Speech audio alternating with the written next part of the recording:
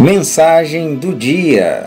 Portanto, confessem os seus pecados uns aos outros e orem uns pelos outros, para serem curados. A oração de um justo é poderosa e eficaz.